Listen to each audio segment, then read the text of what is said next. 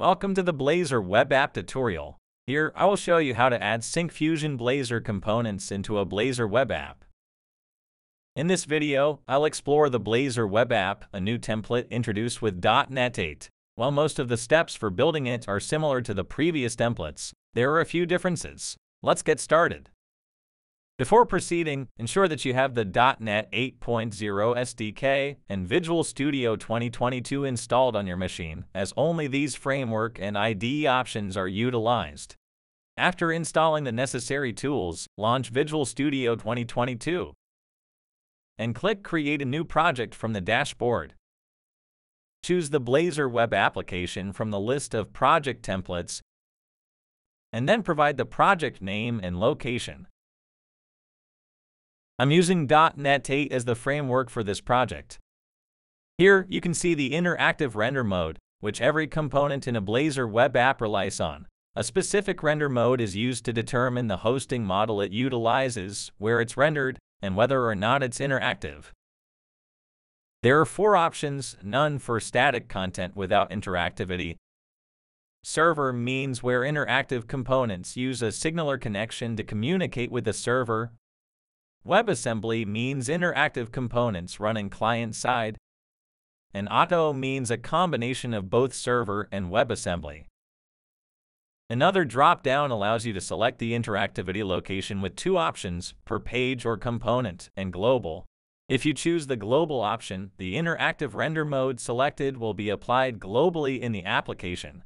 However, you can change it later if needed. On the other hand, selecting the second option allows you to specify the render modes for the components based on your specific requirements.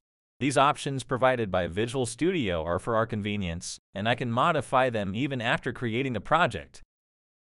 If you choose the interactive mode as a server and interactivity location as global, the application will function like a typical Blazor server app, similar to what was available in .NET 6 and 7. On the other hand, if you select the interactive render mode as WebAssembly and interactivity location as global, the application will behave like a standalone Blazor WebAssembly app, available in all frameworks. So there aren't significant differences, and most of the concepts remain the same.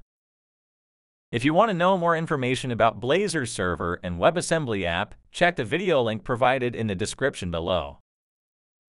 First, I will create the project for interactive mode as none. Now the application is ready to use. Let's run the default application. You can observe that the Home and Weather Razor components. Next, I'll demonstrate how to integrate Syncfusion components into a Blazor web application. We have 30 plus components available. I'll specifically focus on adding the data grid component in Blazor web app. First, I need to install the Syncfusion Blazor Grid NuGet package into my application. So I open the NuGet Package Manager, switch to Browse tab, search for Syncfusion Blazor Grid, and install the latest version. I also install the latest version of Syncfusion Blazor themes to host the CSS file.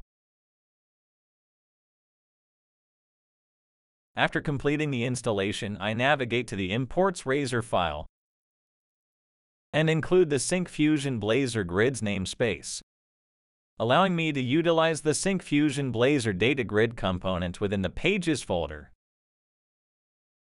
Next, I open the program CS file and add the Syncfusion Blazor namespace. Then I register the Syncfusion Blazor service in Program CS file.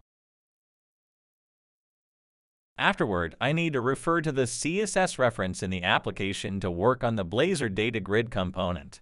Therefore, I navigate to the AppRazor file under the Components folder. I refer to the CSS file from the installed package. Now that everything is configured, let me proceed to add the Syncfusion Blazor Data Grid. For that, I need to open the Home Razor file, where I'll define the Syncfusion Data Grid component by replacing the default code I plan to display order details within the data grid component. So I add the code block and create the model class named order. Inside the class, I set the fields like order ID, customer ID, order date, and freight. create a list named order details of type order. Then I create the onInitialize method with assign the order details. Then I set the data source property and bind it to the order details list. Let's run the example application. You'll see the data grid rendered with the provided data source. However, interacting with the grid may not work as expected because, by default, components use static server-side rendering, rendering to the response stream, and interactivity isn't enabled. Next, I will show you how to work with Auto Render mode in a Blazor web app. To begin, I create the new project, select Blazor web app, and set the project name then change the mode to Auto, which is a combination of both server and WebAssembly apps. Additionally, select the Global option in the Interactivity location. Now the application is ready to use. Explore the projects created with the Auto Render mode. In the Solution Explorer, this render mode is a combination of both server and WebAssembly. Here there are two projects, one for the server side and one for the client side. In the Program CS class of the server-side project, you'll notice the utilization of both render modes. In the AppRazor component, the render modes are specified as Interactive Auto. Since the render mode is auto, this application will initially be rendered entirely from the server. Simultaneously, it will download the assemblies and seamlessly transition to working entirely on the client side. Let's run the example application. When inspecting the browser and navigating to the console, notice that the WebSocket is connected to the local host. The server listens for incoming WebSocket SignalR connections on a specific port. Next, the .NET Runtime and App Bundle are downloaded to the client in the background. This process involves downloading the necessary assemblies, seamlessly transitioning to work entirely on the client side. Next, I will demonstrate how to add the Syncfusion Blazor Data Grid component. I have already included the Syncfusion Blazor Grid NuGet package in my application and registered this Syncfusion Blazor service in the Program CS file on the server side. Additionally, make sure to check the Program CS file on the client side to register the Syncfusion Blazor service. Now that everything is configured, open the Counter Razor file. Here, I've already added the Syncfusion Blazor Data Grid component. Running the example application, navigate to the counter page, you can see the data grid rendered with the provided data source. Interacting with the grid is easy because, by default, the component uses the interactive auto mode globally. Now, let's attempt to change the render mode of this project.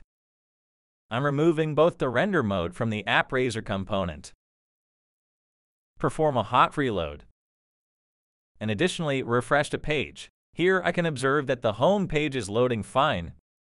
Moving to the counter page, you'll notice that the data grid is no longer interactive. This behavior occurs because I removed the render mode in AppRazor component. When there is no render mode assigned for a component, Blazor Web App considers the render mode as static, which is the default render mode. Next, I will show you how to transform from the Global Interactive to Component Interactive application in the Counter component. There are three distinct render modes, Interactive Server, meaning it is rendered by the server and utilizes WebSockets for interactivity. Next, Interactive WebAssembly, where rendering occurs entirely on the client side.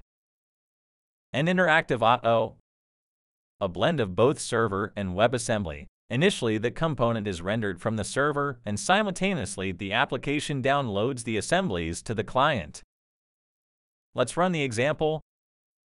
Navigating to the counter page, you can observe that I can interact with the grid component easily. In summary, I have successfully transformed our global interactive application into a component interactive application. Now let me summarize what I covered in this video. I covered how to create the Blazor web app with explained interactive modes and locations. Additionally, I covered how to work with static server-side render and auto-render mode. If you would like to see the working code of this example, you can download it from the GitHub link in the description below. I've also provided a link where you can see if you qualify for a free community license to use all our Blazor products.